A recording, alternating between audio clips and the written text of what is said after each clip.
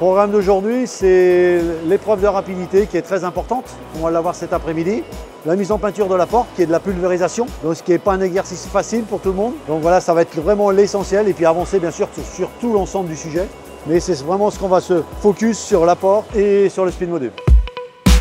La difficulté de l'épreuve, c'est euh, bah, de pallier euh, la difficulté entre euh, la finition, donc l'excellence et la rapidité. La progression de, de Kitry depuis le début de l'entraînement, c'est surtout sur la cotation, en fin de compte, de gagner énormément de temps sur la cotation, bien se repérer par rapport au plan qu'on va lui donner. On est bien dans le timing, elle a fait son travail.